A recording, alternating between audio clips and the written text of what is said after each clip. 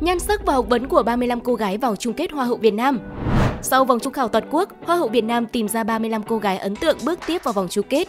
Các người đẹp đều có lợi thế riêng, từ hình thể đẹp đến thành tích học tập ấn tượng. Hãy cùng điểm qua những thí sinh nổi bật nhé. Đầu tiên là thí sinh Nguyễn Ngọc Mai. Cô được chú ý bởi sở hữu IELTS 8.0, tốt nghiệp ngành quản lý giải trí và tổ chức sự kiện tại Đại học NSL Standard Hà Lan. Ở phần thi tài năng, Ngọc Mai gây ấn tượng khi thuyết trình bằng tiếng Anh, Tây Ban Nha và thể hiện giọng hát.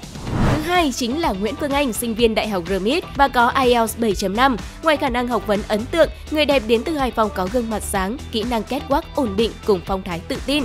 Cùng với đó là Hoàng Hương Giang, trước đây đã có danh hiệu Á Khôi duyên dáng ngoại thương. Trên sân khấu cô gây ấn tượng với gương mặt sáng sân khấu, nét hiền dịu của phụ nữ Việt. Ngoài ra thí sinh mang số báo danh 177 nằm trong top người đẹp học giỏi được tuyển thẳng đại học. Hiện tại cô theo học tại trường Đại học Ngoại thương Hà Nội. Nổi bật nhất là Nguyễn Thị Thanh Tâm là một trong những thí sinh lớn tuổi nhất của Hoa hậu Việt Nam. Cô tốt nghiệp thủ khoa Đại học Kinh tế Quốc dân chuyên ngành Kinh tế Phát triển.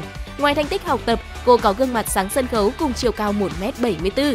Các bạn có cảm nghĩ sao về bài viết trên? Hãy để lại bên dưới phần bình luận và đừng quên follow chúng mình để cập nhật những tin tức mới nhất nhé.